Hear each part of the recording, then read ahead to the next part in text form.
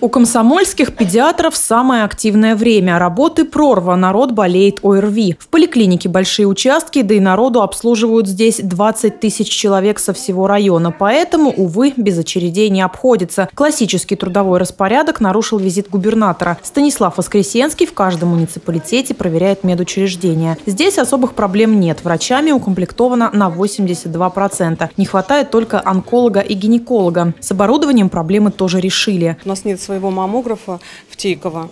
А, в свое время было выделено «Газель» 12-местная, и значит, нашим транспортом каждую неделю пациенты перевозят на маммографию.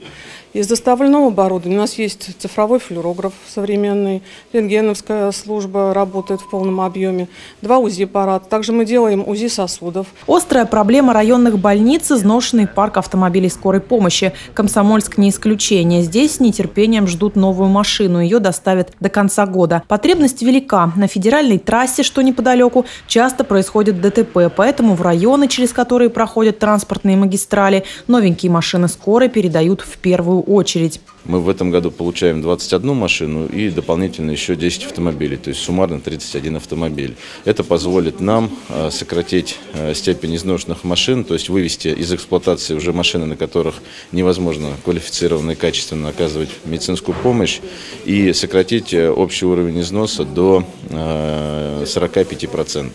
То есть нам в ближайшей перспективе нужно еще где-то порядка 40 машин будет менять. Губернатору озвучили проблемы со сломанным флюорографом в селе Песцово Комсомольского района. Пациенты для снимков вынуждены ездить сюда. Станислав Воскресенский отметил, что вопрос этот будет решен, ровно как и вопрос с маммографией. В следующем году в регионе появятся передвижные профильные комплексы. Мария Смирнова, Антон Осипов, РТВ Иванова, Комсомольский район.